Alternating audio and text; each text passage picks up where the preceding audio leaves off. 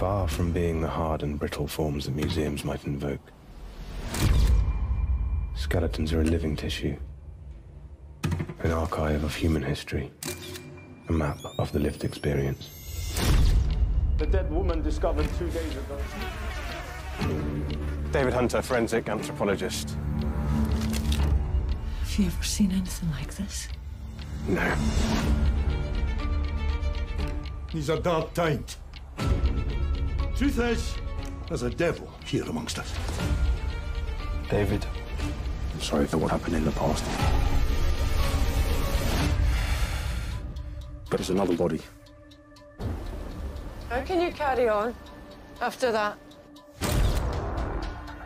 Folk round here don't take kindly to strangers asking questions. Some questions don't have answers.